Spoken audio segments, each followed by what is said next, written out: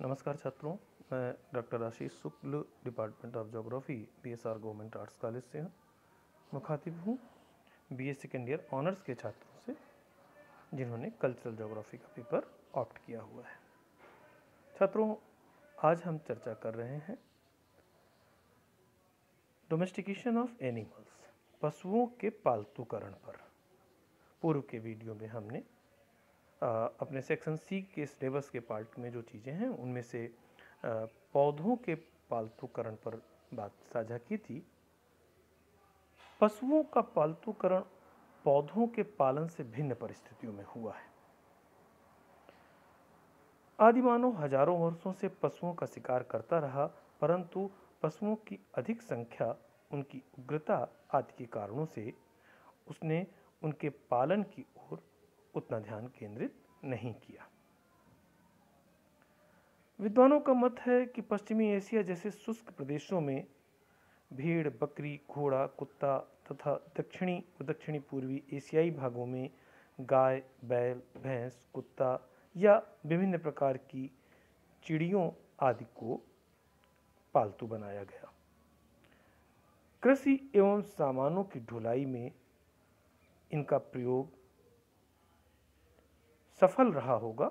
साथ ही साथ इन पशुओं से प्राप्त दूध, मांस, चमड़ा आदि विभिन्न कार्यों में उपयोगी होने के कारण यह पशु शक्ति पशुपालन का आधार बनी।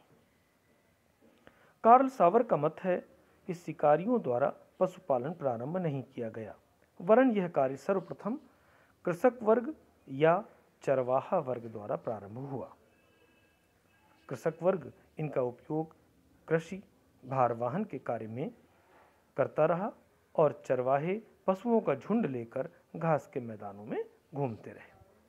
कृषकों ने उन्हीं पशुओं को पालतू बनाया जिनका उपयोग वह कृषि के लिए अपने आप में सहयोगी मानते थे। जी, ई चाइल्ड ने कुत्ते को प्रथम पालतू पशु माना है। इनका मत है कि यह सभी प्रकार के लोगों में अपनी उपयोगिता प्रमाणित करता रहा है। फलस्वरूप शिकारियों, चरवाहों एवं कृषकों के लिए यह एक अत्यंत उपयोगी व विश्वसनीय पशु के रूप में पाला गया। एच जी वेल्स और डेरिलफोल्ड का मत है कि पूरा पाषाणकालीन मानव ने जंगलों में घूमते हुए विभिन्न वन्य पशुओं पशुओं के स्वभाव का निरीक्षण किया। क्योंकि वे घोड़े का मांस खाते थे, इसलिए वो सर्वप्रथम घोड़े को पालतू बनाने में सफल हुए। परंतु ये विचार सभी विद्वानों के द्वारा स्वीकृत नहीं है। घोड़े का पालतूकरण सर्वप्रथम काकेकस क्षेत्र में किया गया। सामान्यतः जिस परिवेश में जो पशु उपलब्ध थे, उनका ही पालन वहाँ के मानव समुदाय द्वारा प्रारंभ हुआ होगा। विश्व में जो क्षेत्र पौध पालन की दृष्टि से अग्रणी थे उन्हीं क्षेत्रों में पशुपालन का कार्य भी हुआ। स्थायी रूप से रहने वाले मानव समुदाय ही पशुपालन में अधिक समर्थ थे। पशुओं के पालन हेतु उपयुक्त प्राकृतिक दशाओं का भी विशिष्ट भूमिका या रोल होता है, क्योंकि पशु पौधों की भांति स्थायी नहीं है, वरन स्वेच्छापूर्वक इधर उधर विचरण कर सकता है।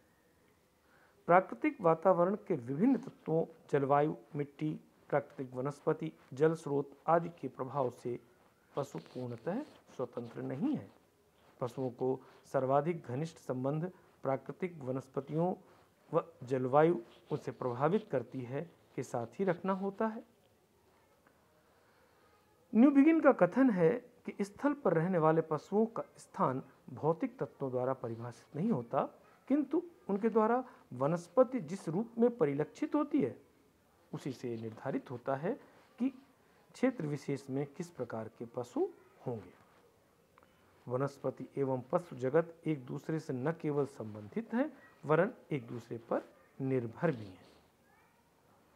यदि विश्व के सभी जीवधारी नष्ट हो जाएँगे तो वनस्पति समुदाय भी नहीं बचेगा, नष्ट हो जाएगा।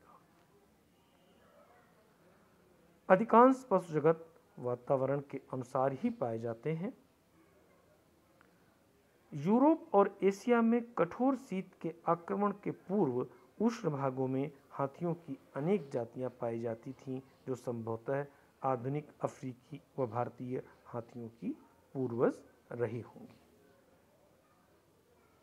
मरुस्थलीय क्षेत्रों में ऊँट, सघन वनों में अनेक प्रकार के विषैले जीव जंतु बिच्छू, मच्छर, मक्खियाँ, कीड़े आदि मिलते हैं। तो पशुपालन का जो क्षेत्रीय वितरण है, इस पर बात अगर करें तो विश्व के विभिन्न प्रदेशों में फैले मेधावी मानों ने ही पशुओं का पालतूकरण किया। पर्वतीय एवं पठारी भागों में भेड़, बकरी, घोड़ा, मैदानी भागों में गाय, बैल, भैंस, सुअर, कुत्ता आदि तथा मरुस्थलीय भागों में ऊँट आदि पशुओं का पालन किया गया। स्पेंसर महोदय ने क्षेत्रीय आधार पर विभिन्न पशुओं के पालतूकरण पर अपनी बात साझा की। उनके अनुसार इसे निम्न चार क्षेत्रों में विभक्त किया जा सकता है। पहला, दक्षिणी एवं पूर्वी एशियाई क्षेत्र। इस क्षेत्र में गाय, बैल, भैंस, कुत्ता, कबूतर, सुअर, मोर आदि का पालन किया गया। मध्य यूरेशियाई क्षेत्र हिमालय के उत्तर स्थित इस क्षेत्र में बकरी, भेड़, घोड़ा, याक, रेंडियर, ऊँट आदि का पालतूकरण किया गया। पश्चिमी एशिया, भूमध्य सागर एवं उत्तरी पश्चिमी अफ्रीकी क्षेत्र की बात करें तो इस क्षेत्र में सुअर, बकरी, कुत्ता, भेड़, ऊँट आदि पशुओं का पालन हुआ।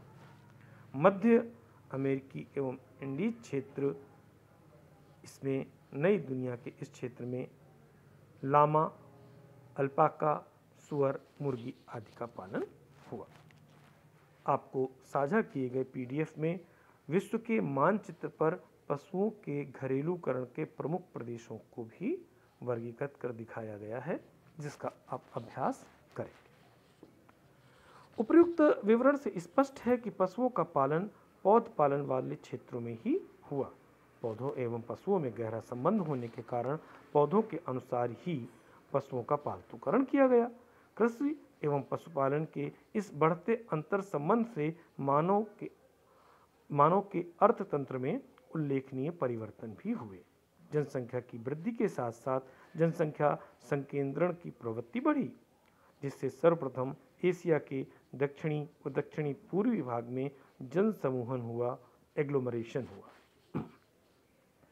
पशुपालन की संस्कृति में व्यवसायीकरण की प्रवृत्ति से क्रांतिकारी परिवर्तनों का सूत्रपात हुआ। आज यूरोप, उत्तरी व दक्षिणी अमेरिका और ऑस्ट्रेलिया पशुपालन में अग्रणी हो गए हैं।